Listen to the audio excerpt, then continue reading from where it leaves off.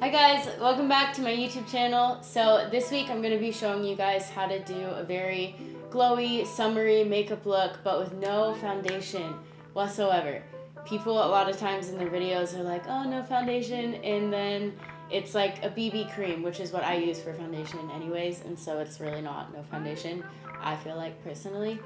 So this one literally is just concealer, uh, bronzer, all that good stuff, but there's no all over foundation because in the summer, I feel like especially for me, I just don't want to have this like all over caked on face because it just looks like you're wearing makeup because a lot of times it starts to melt off and starts to get oily. My whole goal in this was to keep it very like almost as if you had just like this sheer layer of like glow and highlight and bronze with chapstick, but very, very light and minimal, minimal with still looking like, you know, presentable.